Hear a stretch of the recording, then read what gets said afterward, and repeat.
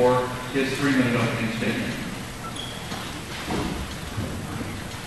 Well, thank you for uh, having this event tonight. Uh, I appreciate that. You know, it's, uh, uh, since I went to Springfield, one of the, one of the themes of uh, being there has been uh, transparency and accountability. And I always say that, you know, when, when people are watching, we behave better. Our tone is always a little better, it's always a little nicer, always a little sweeter.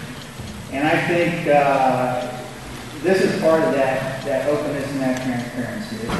Letting the public know uh, where we stand on issues and why we should be uh, sent to represent you in Springfield. Uh, Just a little bit about myself very quickly. I've I've been married 28 years.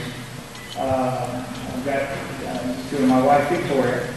Uh, I've got two boys. Uh, One's 21, one's 24. My younger one will graduate from Oral Roberts University this year. And my older one uh, was 24, was actually, uh, second, was first lieutenant in the Air Force and was deployed today. And so uh, we're praying for him. Uh, You know, I, I'm in the manufacturing business, have been for about 20 years.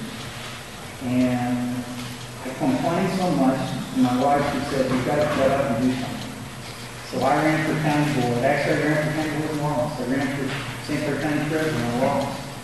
Then I ran, for, uh, I got appointed county board and ran as mayor. And then, uh, I was appointed to the Senate and, and won my first term. You know, I literally crawled out from under a piece of machi- machinery in my factory to step up and do this job. Uh, I do it because I want my kids to come back home.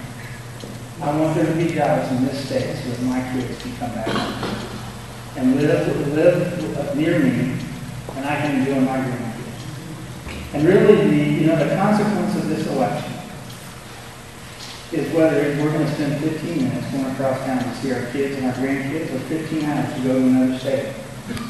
That's the truth of it. But for the last 10 years, the Demo- the Democrats in charge, the Chicago Democrat machine, has ran the state in different places.